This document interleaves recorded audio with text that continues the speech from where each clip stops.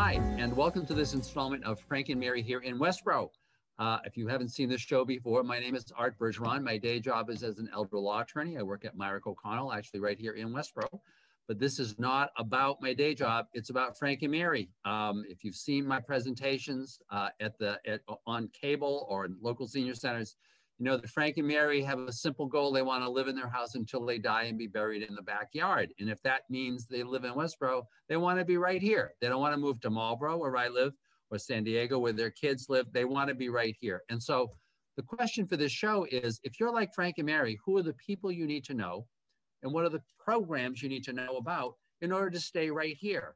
Shelby Marshall, who like seems to know everybody, is, is my been my wonderful co-host, and we've been doing this now for like a long time, couple years, two, three years now. We're getting old together, Arthur. From back when Shelby was like a new selectman. Now there's a long time ago, right?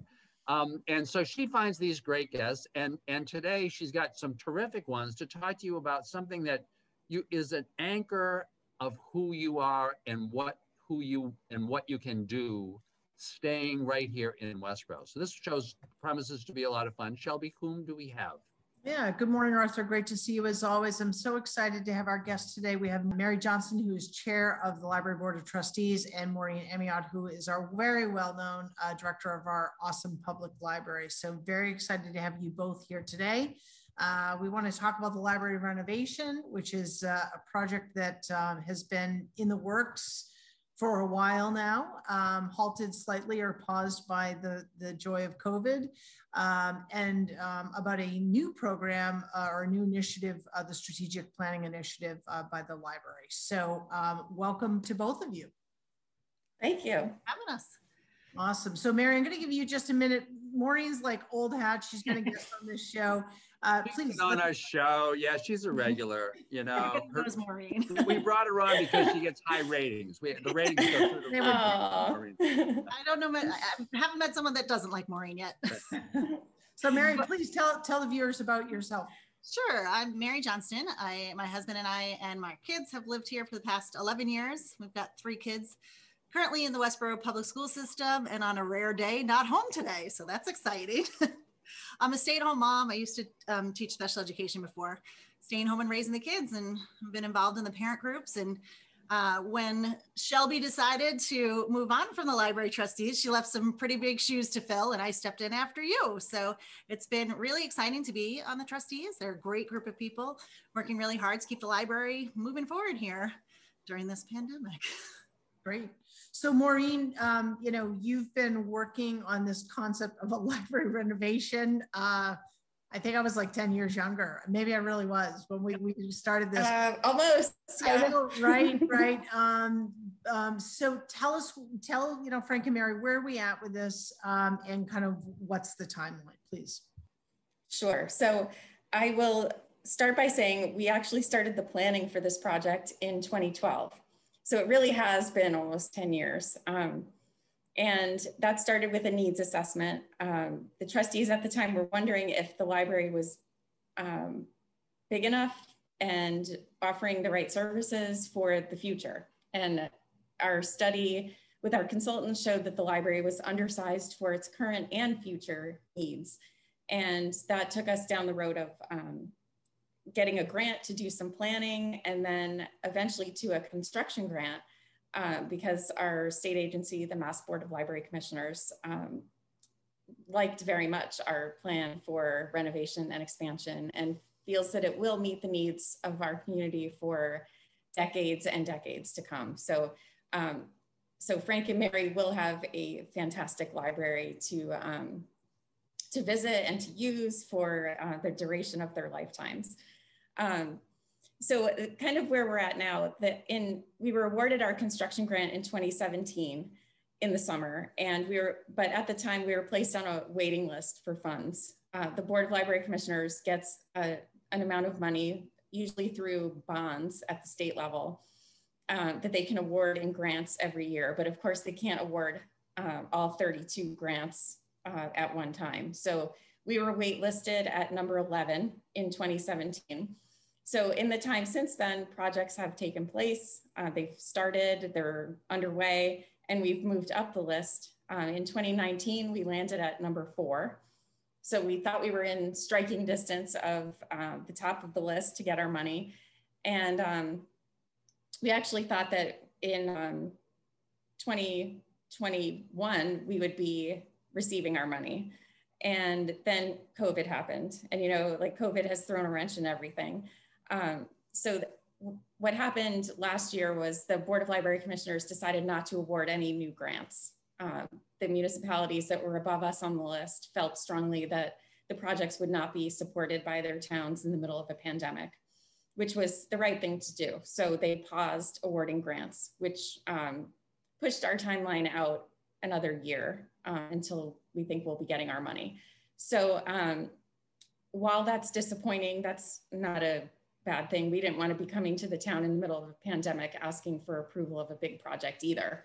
So um, I have a little graphic I want to show you that um, kind of gives you a sense of the timeline that we're looking at now. Um, so first what you see uh, at the top of it is the, um, the drawing. This is a very high level design that very preliminary design that the architects did as part of the planning and design process. And um, what our consultant at the state told us is that it's probably not going to look like this at all when it's built. Um, the design will evolve and change, but this will just kind of give us a high level idea. Um, what will happen is the um, the 1980 edition will be removed and a small portion of the 1908 building um, at the back part of it will be removed. We're going to excavate down about four feet and we're going to do a full three story addition in the back. Uh, if you look at the building from this vantage point, which is uh, from the corner at the Forbes building, it's the 1980 addition was a two story addition, which was our children's room and our adult section. And then there's a flat roof above that. So it will be a full three story addition and they'll design it so that the roof lines match and the floors are level from one building to the other. Um, we'll have a, a bigger new entrance on the Parkman Street side and um, we'll do some landscaping and uh, it's just gonna be like really beautiful and much larger uh, space than what we currently have. Um, so our timeline, uh, the, our best guess, best estimate of timeline right now is that we'll come up to the top of the waiting list for our funds in July of 2022. So once we're notified that our money is available, we have six months to get local approval of the project, which means we will be at the October 2022 town meeting asking for the town to approve the project. Um, the total cost for the project is about $23 million. And just like the school projects that we're all familiar with at, from town meeting, we'll be coming to the town to ask for the full $23 million. That's just how municipal finance works. Um, we have to have the money approved before we can proceed with our grant funded project. Uh, the grant will reimburse uh, the town just under $9.5 million. So um, it's not quite half the project, but um, see at the, at the top of the timeline, public awareness campaign, library foundation fundraising. Uh, we do have a nonprofit 501c3 library foundation that has committed to raising $2 million towards the project. Uh, so between the foundation fundraising and the grant from the state, we have a substantial amount of the funds um, set aside that the um, taxpayers won't have to fund.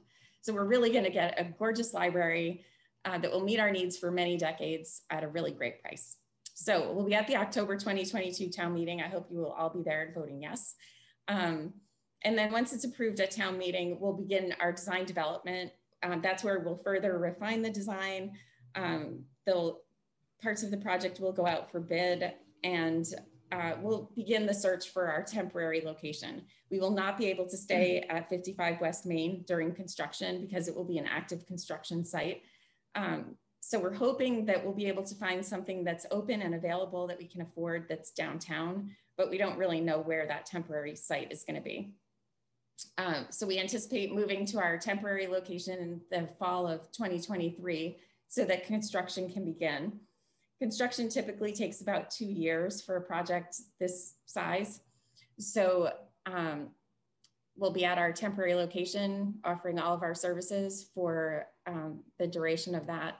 So we anticipate it being completed in the fall of 2025 and probably our grand opening, um, our big celebration, our parade, our balloons, our searchlights, um, all the cheering happening um, first quarter of 2026.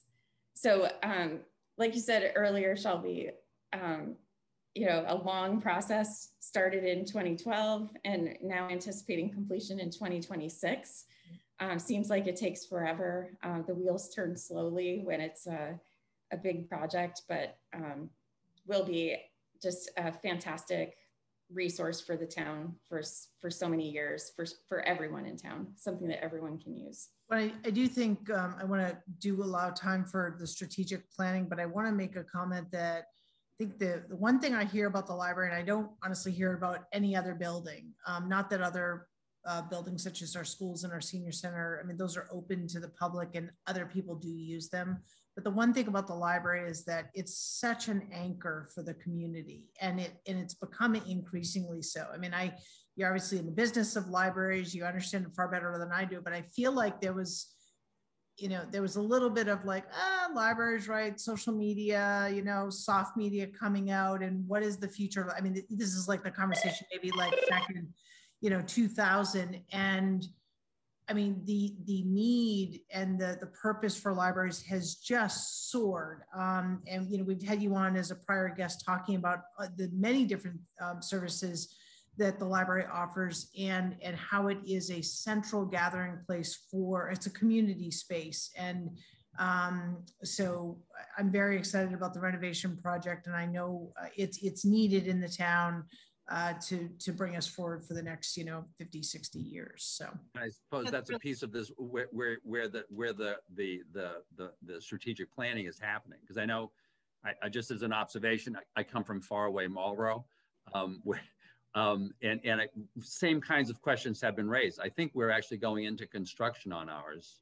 I think maybe, well, the beginnings of it, I think, are this year, you know. But I, so we've gone through a lot of this stuff, and actually, our price tag is very similar. I'm kind of, I'm very aware of this project, but this this this reconceptualizing of what the library is, you know, that it, it is it has been an anchor for the past, but this notion of the library as being a real center you know, a gathering place, an educational center for so many of our people. It's it's just it's wonderful. It's wonderful, and and the and the fact that you've that you've kept the library downtown, you know, is just so crucial to all of this. You know, that it's that it's one a, of our biggest um, requests from patrons that it stayed downtown. Stay downtown, a vibrant part of a vibrant place. Yes, yes. So tell yeah, us about the. Oh, sorry. Go ahead. No, I was just going to add to what Mary said.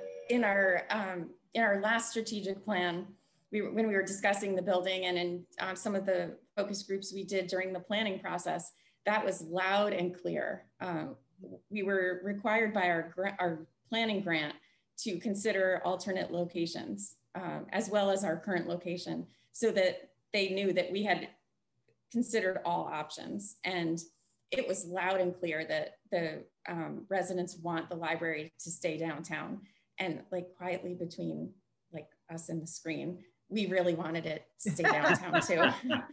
Uh, it's well, it's just our- a really it's a really special thing that this was, building was built as a library in 1908 and it's always been a library and I, I would have personally been sad to see it go somewhere else if that's what residents said they wanted that's what we would have done but um, it's just such a treasure well and i and you know our our I think a lot of the discussions around the master plan, uh, we've had guests on recently about that, this idea of really enhancing the downtown village.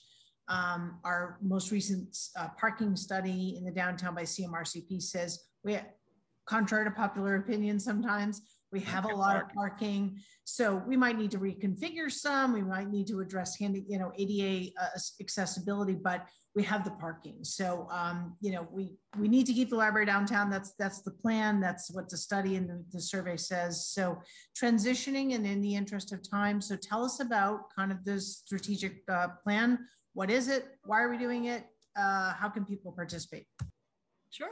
So one of the um, requirements for our continued eligibility for our grant is that we have a um, long range plan on file with uh, the Mass Board of Library Commissioners. So um, it's a requirement, but it's something that we would do anyway because we want to um, have a roadmap of where we're headed in the future. And we want periodic input from the public. We want, we welcome input anytime, but you know, in a formal, thoughtful way, we want input on a regular basis from our residents to make sure that what we're meeting, what we're offering is meeting their needs. So we're undertaking our new strategic plan. Our previous one expired in, in 2019 and our trustees extended our existing plan by a couple years because we thought we were about to go under construction and then we thought we were about to go under construction and it kept getting pushed out. So now is the time. Um, and we are going to be looking for public input. We have a meeting coming up um, a virtual meeting on monday the 29th of march. Uh, it's via zoom at um, 7 p.m it's just an hour. And um, our consultant will be um, taking participants through an exercise to um, brainstorm some of the, the current offerings of the library and the future.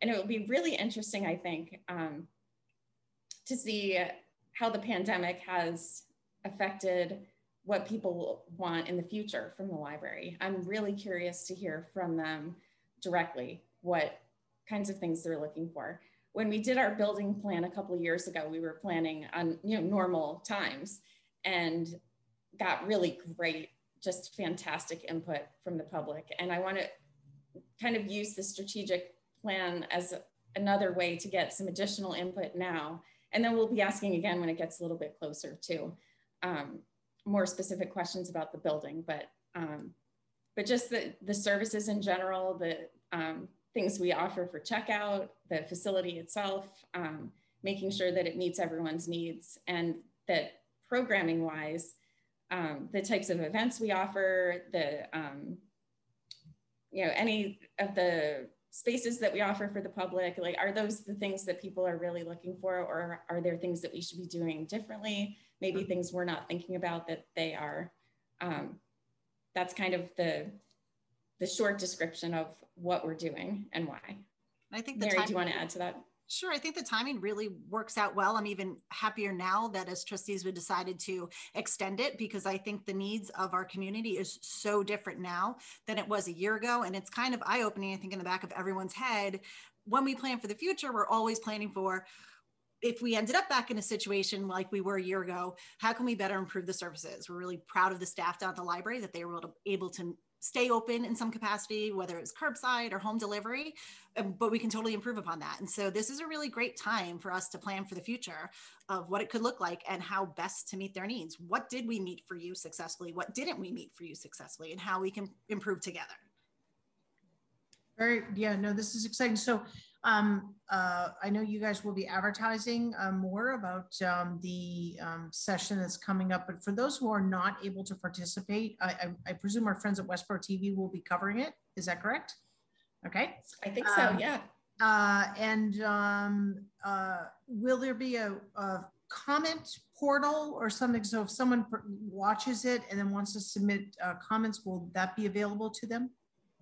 That will be available through the um, library website. And I'm also working with the consultant to um, kind of either revisit our previous survey that we used, our public survey that we used for the last strategic plan, or to create one slightly different depending on the questions she's gonna ask. That will avail that'll be available in paper format at the library and I'll see if I can get it at like town hall and senior center too. So sure if folks don't have internet access or aren't comfortable taking it that way, that we can still get their input too. Maureen, one thing you might, um, and Mary, one thing you might think about is um, I know that the senior center, they're doing their um, St. Patrick's Day backdoor dinner um, effort, uh, you know, in the next week or so. Um, so if there is a flyer, even to advertise that, that might be something that they could distribute um, to folks because uh, those those numbers are increasing as the weather gets better. Um, and it, and I know. Um, uh, so when do you hope to get all the comments for the strategic plan? What what's the timeline to wrap it up? Um, probably in in the month of April. And because we would like to uh, do the writing of it um, probably May to early June. So we can have it, our goal is to have it completed by the end of the fiscal year. It's not due to um, library commissioners until later in the year, but we set our goal early so that we would have it done. Okay, good. Good. Well, you're always welcome to, to come before open forum and the, the selectmen if you'd like to get the word out that way too. So, Oh, thank you. This, this has been, this has really been terrific. And I think the, the strategic plan, this, as you say, it's just an ideal time to be doing it because you're now thinking about perhaps a slightly different world, you know, it kind of going, and a lot of people are trying to figure out that world. Now, as I think I mentioned to you folks began of the show, my, my job is really to provide comic relief and keep time. And I'm watching the time and saying, I think that we, we're pretty close to wrapping up, but I want to make sure that be, before we do, I always ask Shelby at the end of a show, so what's going on? Is there anything of significance that, that folks need to be knowing about? We do the show weekly. And one of the reasons for that is so that if people, if there's something immediate, people really can be aware of it. Shelby. The reason why we do it weekly is so I get to see Arthur once a week. That's Oh, oh, oh. That's the truth. me. She kills Uh, but actually, very excited. So we have uh, a couple shows uh, lined up that folks will definitely want to watch. Kelly Petralia, who has been our guest in the past, will be coming on to talk about uh, Westboro Kindness, give us an update on that great um, organization's work in Kindness Week, which kicks off March 21st. So she'll give us an update on our next show. And then following that, we'll hear from our DPW director, Chris Pant. Uh, Chris is no longer a new guy on the scene, but uh, when you follow someone that has, uh, you know, been in that uh, seat for, uh, John Walden was our DPW director for uh, 30, 40, 50 years. I don't recall the number offhand. Chris is still the new guy to me, and many people haven't met him. He's doing great work with the crew over there, and he's going to give us an update on things like sidewalks and you know big trucks and uh, um, what are his plans and visions. So, uh, and we'll continue our work on uh, the environmental series as well. So, lots of interesting shows coming up for a variety of interests. So thank, thank you very, very much, folks, for coming on. Maureen, once again, thank you for visiting, and we're always happy to have you on. If there's any, anything else happening, just let us know. Mary, it's I great sure what will. you're Thank doing. you. Thank it's you very great much. What you, it's great what you're doing. I know those shoes are always tough to fill when you know when Shelby leads something. You know, it's like a dynamo. Oh God, where did the dynamo go? You know, so I I, I get that, but I- I- Okay, I time to cut the show. you're doing a great job. So anyway, thank you very, very much for doing this, folks. Once again, the point of this show is to help you understand the things you need to be involved in if you want to stay in Westboro. You need to be involved in this. This is a big deal. This is a big deal, you know. So you need to be connecting with this master plan. You know, they're really making every effort to outreach to you, even if your technical skills aren't great. You know, you know, you, I'm like with you. I'm with you. You know, Just I'm- bring your ideas, right? yeah, but bring your idea and really connect with these folks. This is this is really really important. So thank you very much for coming on, Shelby. Thank you once again for these great guests, and we'll see you all soon next in the next installment next week of Frank and Mary here in Westboro. Thank you very much.